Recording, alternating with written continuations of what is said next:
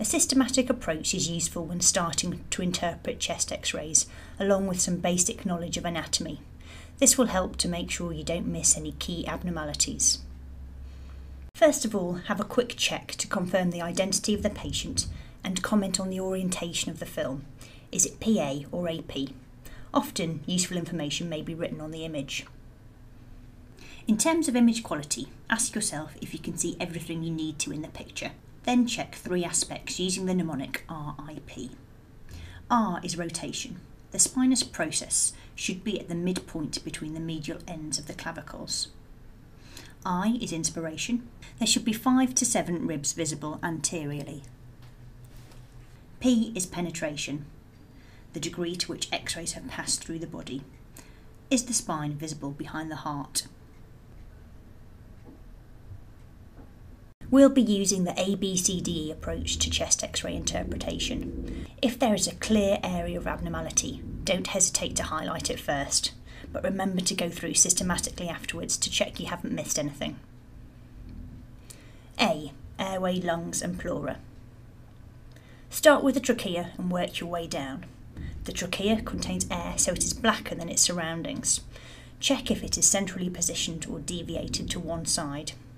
The trachea can be pulled towards the side of collapse or pushed away from the side of a tension pneumothorax. When describing a chest x ray, the lungs are divided into upper, middle, and lower zones. Note this does not correlate with the lung lobes. Look at each of the lung zones in turn for symmetry. Compare each zone with the opposite side. Do any areas look too black or too white? If so, decide which is the abnormal side. Make sure you can see lung markings going all the way to the edge of the chest wall. If you can see the lung edge with a black area surrounding it, suspect a pneumothorax. Note the pleura are not visible in healthy people. B. Bones. Look at the ribs, clavicles, proximal end of the humerus and the thoracic spine. Check for evidence of fractures or metastatic deposits and examine the shoulder joint for signs of arthritis or dislocation. C. Circulation, heart and mediastinum. Look at the size, shape and border of the heart and mediastinum. Heart size is assessed using the cardiothoracic ratio. In a PA film, the heart occupies less than 50% of the width of the thorax.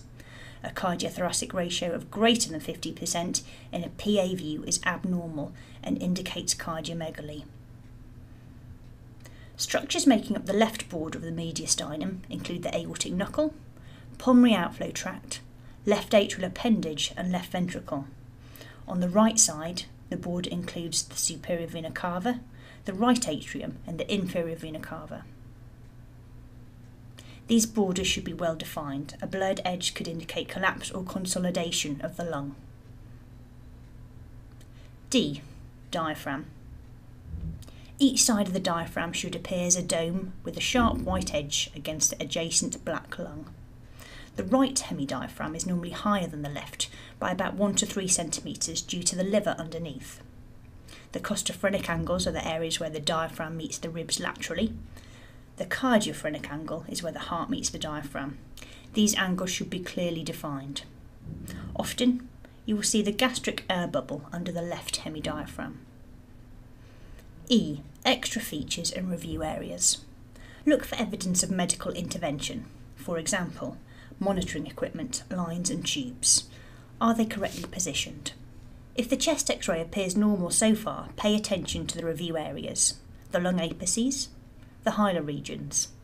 These are made up of the bronchi and major pulmonary vessels. The left hilum is higher than the right or at the same level. They should be symmetrical in size and density look behind the heart, check the soft tissues, finally review under the diaphragm. In summary, this is a PA chest x-ray of Mr Smith. The film is technically adequate. On reviewing the film there are no obvious abnormalities. I would now like to review the patient clinically.